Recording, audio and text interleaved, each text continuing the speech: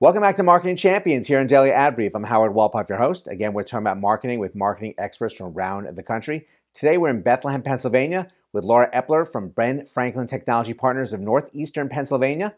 And uh, Laura, welcome to the conversation today. Thank you, Howard. Happy to be here. Well, we're excited to have you and to learn more about you. So, why don't you share with us a little bit of how you got started in the marketing industry? Sure. I uh, graduated with a degree in marketing. Um, started out in various kind of marketing light roles, you know, dipping my to- toes in the water. Um, worked for an ad agency for a variety of time, for a period of time, um, and then moved over into uh, higher ed marketing and landed where I am at Ben Franklin Technology Partners.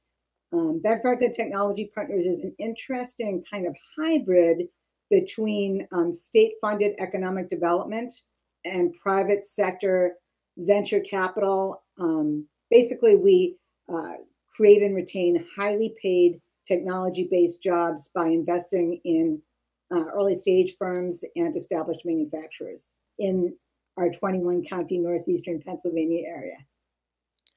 Well, that must keep you very busy having all that area. Uh, so, tell us about what you do on a day to day basis there. Well, one of the reasons I love my job and um, have been there for 23 years is every day is different. We have a portfolio of um, one or 200 active clients plus, you know, more than 35 years of alumni clients. And these are tech based firms, many entrepreneurs. So I'm, I'm basically busy doing kind of a lot of the PR work and basically enhancing their visibility and thereby enhancing our visibility as an organization, helping them win the battle against insolvency, if you would, you know, reach profitability as quickly as possible. Um, these days, a lot of it with most of our clients or many of our clients is finding qualified individuals to fill open roles. Yeah, right now we are having challenges around the country for the right talent coming in to, uh, to, to fill these roles. How much of a challenge really has it been for some of these companies to find the right pieces to make sure everything is moving properly? I think it's been a big challenge. A lot of our firms, because we focus on the technology areas, a lot of our firms um, are really looking for specific talent sets. And that's difficult um, sometimes to find individuals. The same people are being sought by many employers. And especially um, with early stage firms, you know, there's a bit of risk involved. So when you're starting to talk with some of these companies, what kind of questions are you asking them to get a sense of the, the way that you're able to play an assisting role with them? Right. So uh, we have a team of enterprise developers that are my colleagues in our organization. That through they have various geographic areas. They're very in tune with other local uh, entities that support early stage firms and manufacturers, and they kind of we- weave themselves, if you will, into the fabric of the community.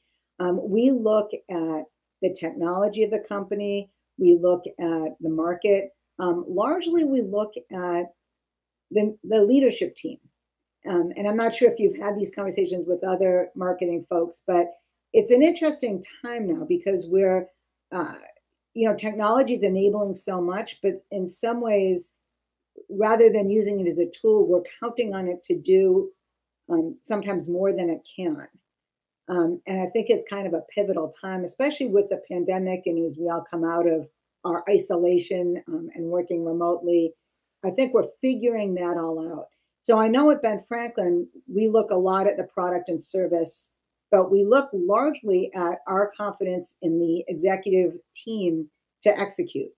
Um, because it, now more than ever, and it's always been this way, especially in B2B sales, it's about relationships and people. Very true. Always having those right people to make the connections with.